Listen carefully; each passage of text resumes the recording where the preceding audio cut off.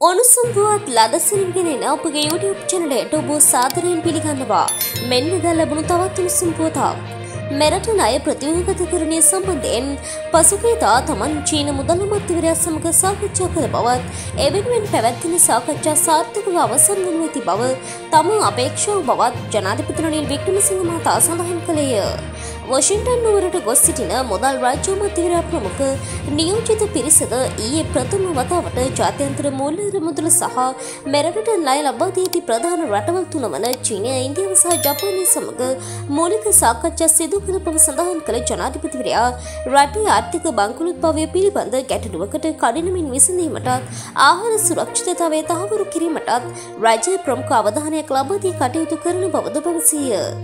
ජනාධිපති රනිල් වික්‍රමසිංහ මහතා මේ බව සඳහන් කළේ සියඹලාණ්ඩුව ප්‍රාදේශීය ලේකම් කොටසේ රතුමඩ වීරකඳවල අවට වගාභූමියේ නිරීක්ෂණ චාරිකාවක නිරත වෙමින් අනතුරුව අදහස් දක්වමිනි.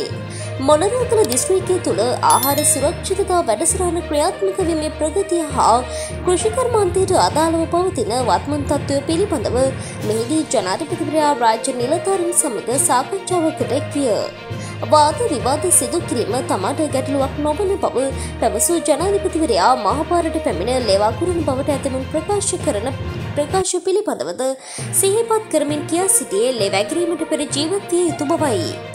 ජනතාවට අවශ්‍ය ආහාර සැපීමට නිසි වැඩපිළිවෙලක් ක්‍රියාත්මක නොවුනහොත් ලෙවැකිරීමට නොව හාමුදේ මියයාමට සිදුවන බව සඳහන් කළ ජනාධිපතිවරයා දේශපාලනය පාර්ලිමේන්තුවේදී පමණක් කතා කළ යුතු බවත් ජනතා අවශ්‍යතා ඉටු කිරීමේ වැඩපිළිවෙලට පක්ෂ වේදයකින් තොරව සියලු දෙනා එක්විය යුතු බවත් අවධාරණය කළේය. සියඹලාණ්ඩුව රතුමඩ වීර කඳවල වෙල්ලයාවට වගා භූමියට පැමිණි ජනාධිපතිවරයා වගාබිමේ සංචාරය කරමින් ගොවි ජනතාව සමග සුහද කතාබහ කරන ඉතිවිය.